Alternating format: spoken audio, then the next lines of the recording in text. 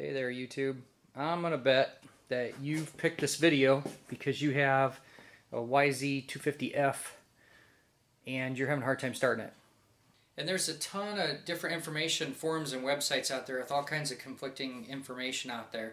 Now I'm a mechanic for over 20 years. Uh, obviously, if you follow the channel, you know I teach a motorcycle technician program. And my customer brought this in and uh, said had a complaint of hard starting, especially when it gets hot. So you can Google anything and find out that this is a real common problem.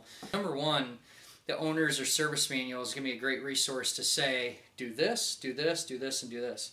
Before you even worry about how these are hard to start, first off, you have to have some things in order. Checklist on this. Valve clearance is good, carb is good, baseline settings are good. The 2001 to 2002s use a procedure with a lever on the handlebar kick it to top dead center, and then uh, um, pull the lever, kick it a couple times, and, and that procedure works pretty good. Well, this is a 2001, but it has the 2003 decompression cam in it.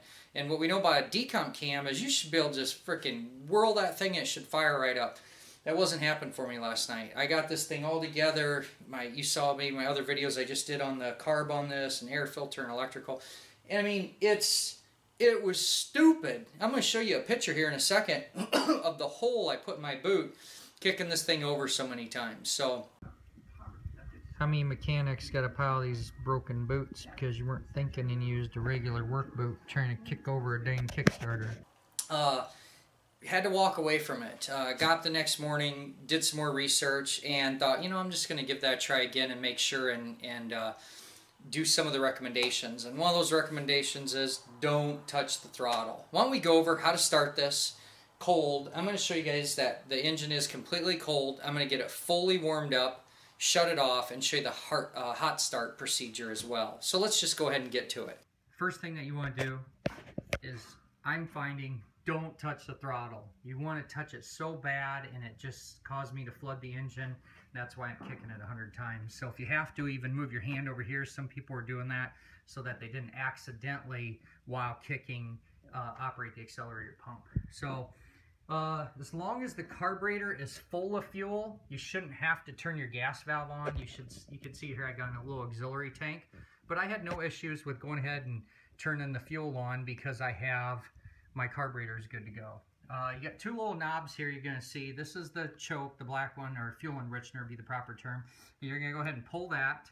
Leave this one in. There's no, if you have to do them both, there's something wrong with the carburetor. If your combination requires both, once again, there's something going on with your carb. So you pull the choke. We'll get to this one later. And then we're going to go around. And I just wanted to prove that this is a completely cold engine. It's been sitting all day. You can see here, I mean, room temperature. I'm gonna go ahead and kick this thing like a mother and uh, should fire right up for us. The other thing I can't stress enough, put on a good boot. This is gonna be a good demonstration of how to start YZF uh, 250F cold. Now, once again, I don't have the lever on the handlebar. I'm gonna still use that procedure even though I don't have a lever on this one. That'll help you 2001 to 2002 people out. It until I feel it get hard. Let it re-ratchet, and now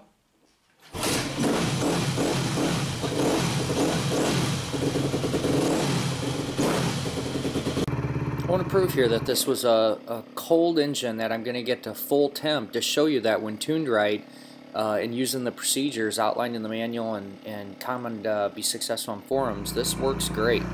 Check it out.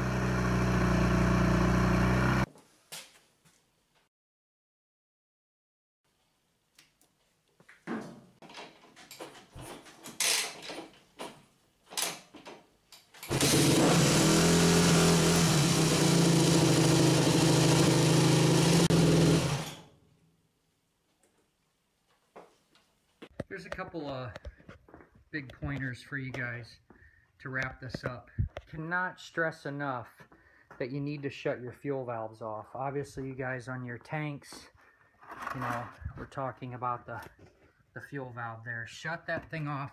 There's absolutely no benefit. There's nothing but trouble by leaving it on. In closing, I saw numerous people that said, don't touch the throttle, and I can't stress that enough. I agree with that. On this motorcycle, that is definitely the best technique. turn the fuel on as a choice. You at least need the carburetor full of fuel. That makes sense. And then uh, pull the black knob, the choke knob. Don't touch the throttle. On a decomp cam, you don't have to, but it seems to work pretty well. You can watch me, you know, as I demonstrated in the video, doing that top dead center compression, letting it re-ratchet, and then kicking it so you get a really good full stroke. Another thing I didn't mention too is kick it fast.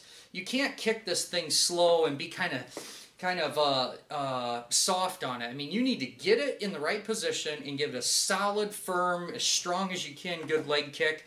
And this thing will fire up. I mean, I, I've done this, you know, half dozen times trying now because I want my customer to be educated on this too. I don't want him to go out and uh, him or her and, and be struggling or fighting with it, you know, when it's really just a lack of information on technique. Keep wrenching, stay tuned, and we'll see you again soon. If you like what you see here, would you please share it? I'd love you to keep my platform going here on uh, technical education and uh, um, the ways to be great in your craftsmanship. So keep on wrenching, and we'll see you again in the future. Thanks for being a subscriber and follower of the channel.